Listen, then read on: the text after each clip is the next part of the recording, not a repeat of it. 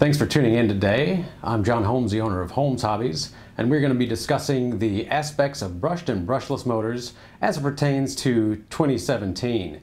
We did a video a few years back and things have changed a little bit technology-wise, so we figured it'd be a good time to recap these. Now what we're going to cover in this video is the performance differences specifically. If you're looking for a video regarding the physical differences between brushed and brushless motors, we do already have another video on that. So ch check out our YouTube channel and look at that if you're looking for the physical aspects. But this one's going to cover the performance aspects of brushed and brushless motors. We're also going to work through choosing the optimum speed, which is going to be the kV or wind of your motor, depending on your needs, and also what style of motor to choose, depending on what you're doing with your rig. And we're really in the off-road truck market, the rock crawler market, so it's going to be more specifically tailored to that style 4x4 truck. And it really is about the only market that still uses brush motors, so I think for today it's going to be a pretty good comparison. So let's start up with the brushed motors. Now brush motors have the widest cost range in the market right now. And this is because you have a lot of uh, ready to run rigs and even industrial motors that are produced for fairly low cost. And we have a full range of them from the low cost all the way to the high cost. Low cost being our Trailmaster Sport motor and the high cost being the uh, pro motors that we have, the hand wound such as the Crawlmaster Pro 550. Now, the differences between that is uh, pretty much what the performance differences of the motor are going to be. So if we look at our least expensive armature, this is out of a Trailmaster Sport. It has wider laminations, so there's more steel losses when it turns. And it has, you know, uh, a decent amount of copper on the armature, but it's machine wound. It's certainly not the, uh, the best produced armature, but it, it, does the job for the money very well. Now, if we go up to, say, the expert line of motors, higher quality, thinner laminations, uh, is going to be an M19 tool, or I'm sorry, M19 silicon steel, uh, which is just a better electrical steel essentially, and also typically is going to have a, a higher bonding temperature and better balancing for that motor.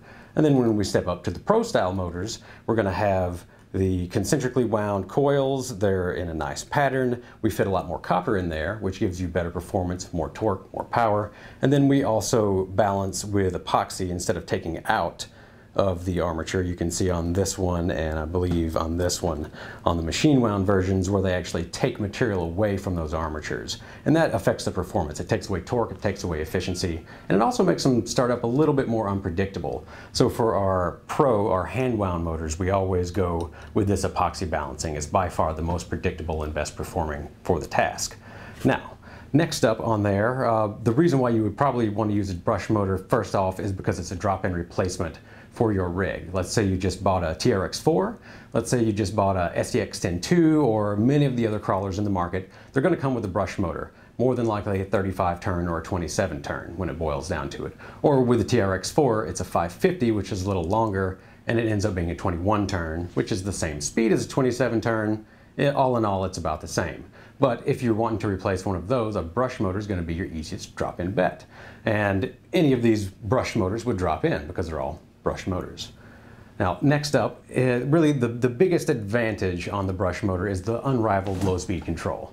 When you're in a sticky situation and you're transitioning from being stopped, especially when you're pointing uphill or downhill and you give it a little throttle, a brush motor has the brushes dragging on the commutator and it gives a, a nice gentle slope into your throttle. Whereas a brushless motor has nothing dragging, so as soon as you tell the ESC I'm ready to go, it starts essentially free coasting. And so the low speed control is far greater on the brush motors. And that's really the big advantage that they have, besides also being low cost. Now, what's the bad side about a brush motor? You have lower power density. You also have lower torque density, and these are both caused by the brushes themselves being in there. So it doesn't really matter, you know, how fast the motor goes or what you're doing, the brushes are always going to be the same size.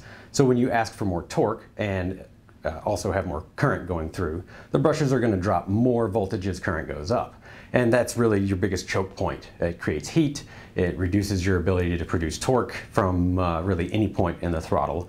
Now, not to say that they have too little torque, there's still plenty for rock crawling. However, it is the biggest downside to these motors. And also just having brushes to replace. Uh, an average brush motor, if you're in a rock crawler, maybe you're going to get 5 hours, 10 hours, 20 hours, 50 hours out of a set of brushes. If you put that into a faster rig, like let's say a, a slash, slash 4x4 or something like that, a rebuildable style motor, you may only get 30 minutes out of a set of brushes just because you have that extra amp draw on it going fast, you have just extra load on it and the extra heat being generated from the brushes. It really adds up over time. So if you're looking for a brush replacement for a pretty fast rig, you're actually better off going with the cheaper style replacement just because they don't produce as much power, so the brushes tend to last longer. Now, if you're really not into that sort of maintenance, then the brushless motors are going to be your next bet. Now, the best thing about the brushless motors, in my opinion, brushless motors have essentially an infinite life. As long as you don't overheat them or get them rusty or otherwise mistreat them, your bearings are really about the only wear point on the motor. So your overall life value of the motor. The life itself of the motor is far greater when you only have bearings to wear out, and your value is going to be greater over the long term because you're not constantly replacing parts on the motor.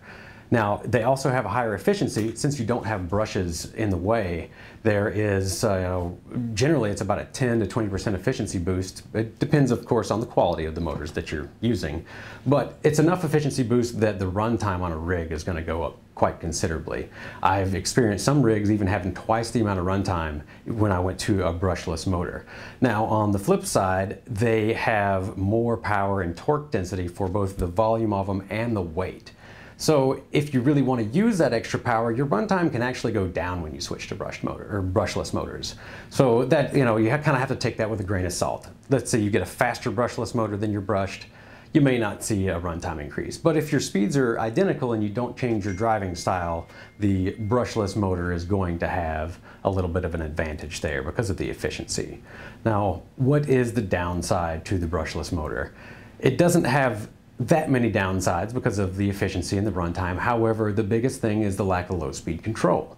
And it's because it doesn't have the brushes dragging. Whenever you're getting out of that drag brake mode and you're going into a rolling or a throttle mode, it, it just, it, it goes basically. And that transition from, technically transitioning from a detent torque to a sliding uh, loss in the motor is just not as consistent with a brushless motor. Now, having said that, the brushless motors that I have designed over the years are specifically to be as good as a brushed motor. So if you're looking at other brands, you'll typically find the brushless is nowhere near as good as a brushed motor. But with ours, we've had feedback from customers where they really couldn't tell a big difference. And maybe it's their driving style, the rig weight, or the gearing that's masking that a little bit. But we have done our best to at least get it as close as we can to a brushed motor. Nonetheless, the brushless motor just doesn't have that good low speed control. It just really isn't quite there. Now, the other you know, downside to the brushless system is the cost. The motors themselves can be more expensive, they typically are, but you also have to have a brushless speed controller. And if you have a ready to run rig, it didn't come with that, and so you need to upgrade the entire system, essentially.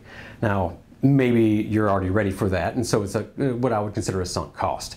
And in that case, maybe brushless is going to be the best bet for you, even though it's a higher cost. But it is certainly a downside that it is more expensive to get kitted up with brushless. Now, when we look at selecting a motor, the biggest issue is the motor speed. In brush motors, they're usually rated in turns, so 21 turn, 27 turn, 35 turn. Those are our popular ones in the Torquemaster series. In the Crawlmaster series, it's going to be 13 turn, 16 turn, 20 turn. And what really matters is the final wheel speed that you're going to get out of this. So let's say you have a 35 turn Torquemaster. The equivalent is going to be about a 16 turn Crawlmaster. And in a brushless term, that wheel speed is going to be about the same as a 1500 kV, 1600 kV motor. Now, if you want to match your wheel speed and your KV all together, then you really need to start from your voltage that you run. And most people end up running 3S LiPo, so about 11 volts. And I typically work backwards from a RPM of the motor, and with a rock crawler, you typically have enough gear down to work with about 35,000 RPM. And so I'm running 11.1 volts in my rig. I want to get about 35,000 RPM for performance reasons and you know low speed control reasons. Eh, you know it really all adds up. Then I'm going to shoot for something around in the brushless realm about 3500 kV is about where I typically fall. Um, it, it's a really good fast motor where you can crawl, you can rock race, you can kind of do everything with it. However, if you're looking for more low speed control just crawling on trails, then the 2200 kV range is really about what's popular. So the, the one way that you can look at this is what's popular, what are people running? And if you're looking at a 540 brush motor, easiest thing to just tell you is a 35 turn to a 27 turn, those are going to be the most popular. If you stepped up to a taller, a 550 can motor, then that's going to be like a 21 turn for the same speeds or a 27 turn for the same speed as a 35. So the turn of the motor actually changes when your motor length changes. And that's one reason that the brushless motors are not rated in turns. Typically, they're rated in the kV, the RPM per volt, or more specifically, it's the back EMF at a certain RPM is what kV stands for, or the voltage constant if you want to get technical. So we would work with the voltage constant, or the kV, and select the motor that we like. In the brushless range, it's typically 2200 kV to about 3500 kV that is the, the, the good range, if you will, the most popular range. I typically work with about 3500 kVs in most of my rigs, and then I just either gear down or simply run 2S LiPo if I don't want so much wheel speed. That's never the case. I always want wheel speed. So I always run 3S LiPo on a 3500 kV or even 4S LiPo, and I let the rig gearing be as slow as I need. So maybe throw a smaller pinion on there, a larger spur gear, whatever is needed to hit that magic RPM limit of the motor, about 35,000, and then gear down my rig until it hits, let's say I want 12 miles an hour for a top speed. Then we use our gearing to get there. And that way you can ensure that your systems always perform very good. You have plenty of RPMs coming out of the motor, you have plenty of gear down to deal with that, and your net effect is that you get better drag brake, better low speed control, just better efficiency all around. And you may have heard our mantra before, volt up, gear down. We've been saying this for about 12 years now, and it really is for best low speed control, best performance just all around in a rock crawler. And you could apply this to other things as well, like say an airplane. If you are having overheating issues on a certain prop and motor, then you can always go to a slower kV and a higher voltage, and while it won't change the heat inside the motor, it may let your ESCs run cooler. Alternatively, you could use the same motor with a prop that was uh, with a uh, less pitch to it, spin the motor faster, use more voltage and less amps to get the same power out. And in that case, your motor will run cooler, your ESC will run cooler, and it's the same as volting up and gearing down. As long as the motor and the ESC will take the voltage, that's always the key. If you spin a motor too fast, they usually get hot. If you put too much voltage on an ESC, they'll usually catch fire. So we want to avoid those sort of mistakes, of course. We have to work within the voltage range of our equipment. Now, one thing that I would like to address is that a lot of times I hear people say, well, you, if you want more torque, go with a slower motor. A lower kV motor is going to give you more torque, or a lower, uh, higher turn brush motor is going to give you more torque. It's really a misnomer. It is not true that a slower motor will give you more torque. It, it just isn't how motors work. Um, it doesn't matter what kV this Puller Pro 540 is it will produce the same amount of torque as long as our applied voltage will get us to the same unloaded RPM. However, an easier way to think about it if you want more torque is just to upsize your motor to a bigger motor.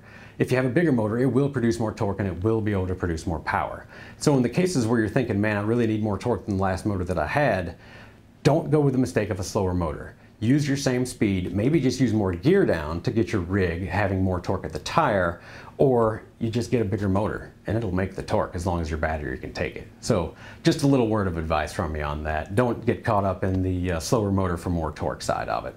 Now, just as a little aside, with brush motors, the brush losses actually do create less torque as you go faster and faster.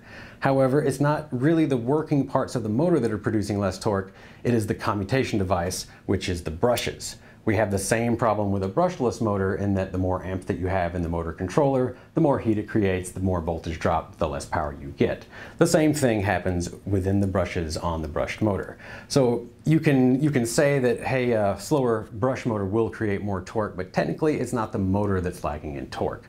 Uh, and also a 27 turn motor is about as fast as we want to use in a rock crawler and that's also right where the peak torque happens to be. If you go with a slower motor on the same voltage you end up losing some torque. So that's probably a, a whole nother video to get into this but uh, just a word for the wise, don't get caught up in the lower kV or in the slower motor for producing more torque. It's kind of a, a bad trail to follow. So to summarize, you really want to know what you want to do with your rig before you get your motor, if you can. of course. Now, there's a few loose and fast rules that we can follow. If you're going fast, if you want to go faster than 15 miles an hour, brushless all day. It really is going to be your better solution. And most of that is because of the brush wear. When you get going too fast in a brush motor, because of the load on it, because of the torque load, the amp draw, it just wears out brushes very fast. And it's not a good value to be buying brush motors if you're going fast all the time. Now, of course, you could buy a cheaper sealed can like the Torquemaster Sport, and it's fairly inexpensive. Just swap it out, swap it out, swap it out. So you may still choose a brush motor in that regards, but just be aware it will wear out faster, especially faster than a brushless motor, of course. Now, where else would you want a brushless motor? Going fast, that's kind of a given. Now, what about rock racing or any other style of racing? That's going to be better for the brushless motor at this point as well. Um, if you're doing hill climbs, definitely brushless motor. Hill climbs will wear out a brush motor very fast. It's a lot of load and it just eats up the brushes. I've had customers eat them up in 30 minutes and be a little bit upset about it. And, and it's understandable. You, you want that value out of your motor. But for hill climbs, you know, sand drags, drag racing, anything with racing in the word, you really want to go with a brushless motor long term. It's going to give you the better value, better performance, and you'll be happier with your rig. You might break more parts, but you know that's kind of that's part of the deal here. Now, uh, even bashing around, honestly, that long run time is really nice. So now, next up, why would you choose a brush motor? This one is a, a, much more specific case, I would say. If you're a comp crawler and you're looking for that best low speed control, brushed is the way to go. The less complexity of the brushed motor combined with not having sensors, um, I should say that the brushless motors are all assumed to have sensors when we talk about the low speed control here. Um, the brush motors still beat the sensored brushless. It is just really got that good low speed control. Um, the other reason that you would replace these with another brush motor is when you have a ready to run rig. Again, the TRX4, SCX10 II, they come with a brush motor. You basically just solder a new one in and you're ready to go. You don't have to replace your ESC, nothing else changes on there. If you get a motor that's about the same speed, it's literally drop in and your performance may change a little bit if you got a, let's say a higher quality motor, but your speeds will be about the same. You know, you know how it's gonna perform for sure. The other people that are gonna choose a brush motor, maybe they're, you know, on that 15 mile an hour edge, maybe they are racing a little bit, but they really like low speed control. Um, you could call them crawler junkies, you could call them aficionados, whatever you want to spec them as there is a quite a large segment of people that love the low speed control and the feel of brush motors so much that the brushless really isn't worth it anymore. And I'm, I'm always on that fence myself. I love low speed control and I've managed to engineer motors to where they have great low speed control. So I can, you know, I can choose these, I can be happy when I use them, but when I really want something that feels great, I'm gonna go towards the brush motors. More specifically, ones with the higher slot counts, like our Crawlmaster series. They have a five slot armature instead of having a three slot armature. And that just helps them start up a little bit smoother, much more controlled. But as you can tell in the name, Crawlmaster versus Torquemaster, they're much better at crawling, but they don't quite produce as much torque. So there's always a trade-off in motor designs, and that's really going to be another video for another day, I think. So to summarize, you should know the performance differences between the two at this point. You should know how to optimize your speeder KV, or at least understand what the popular ones are, 35 turn, 27 turn in brush motors, or for a 550 brush motor, 27 turn and 21 turn. And then for your speeds in the brushless motors, we're to be, going to be talking pretty much 2200 kV to 3500 kV range. If you're rock racing, maybe you'll go as high as like 4000, maybe 5000, but it ends up being an issue for the heat in your motor controller at that point, in my opinion. Uh, so usually people stay around that range, about 3500 kV to the 2200 kV for brushless. And you know, the style for your needs, that really depends on what you want to do, but I think that we've gone over enough that you can kind of figure that out and you know, weigh the positives and negatives for each one and make your own decision at this point. But if you do have any more questions, feel free to comment below or shoot us an email through our website, holmeshobbies.com. And if you liked the vid, just let us know that you liked it. Give us a like on here, subscribe to us, and pop a comment down below if there's something that we missed. And maybe we'll be able to put it into the next video for you. So thanks for tuning in today and have a good one.